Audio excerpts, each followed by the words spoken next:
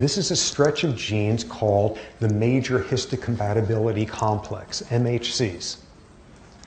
And what you see with those is histocompatibility, that whole business with organ transplants, how compatible of a donor is it, how closely related, how much of this jargon for those of you who know it, how much of a shared antigenic determinant, how genetically similar is this fingerprint, this identifying ID of a protein that determines things like histocompatibility, how well organ transfers work. That's the origins of the term. So every single one of us, every single organism out there has made a arguably unique juggle of these genes and comes up with this signature protein that it sticks on the surface of every single one of its cells.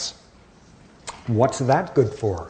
That's good for your immune system learning if we run into a cell with one of those things, it's us. Don't attack it. Don't form antibodies against it. And if we run into anything else in here that doesn't have one of those, it's an invasive pathogen and go attack it.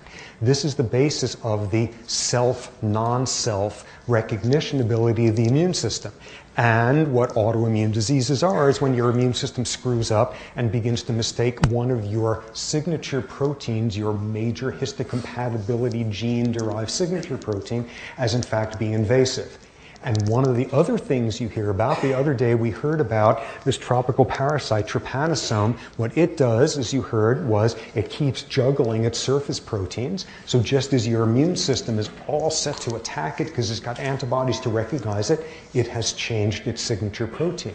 There's another tropical parasite, schistosomes, where what they do is they steal your major histocompatibility proteins from the surface of some of your cells and glue it on themselves, and they are wolves and sheep major histocompatibility proteins or some such things. So that's one major domain where this unique protein derived from a unique gene, unique protein signature lets your immune system work properly.